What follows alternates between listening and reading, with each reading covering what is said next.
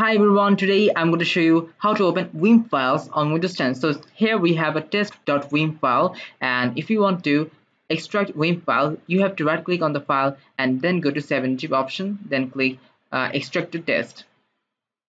So there you go, we have extracted the WIM file and we can see in the folder what kind of contents there are and this is the contents.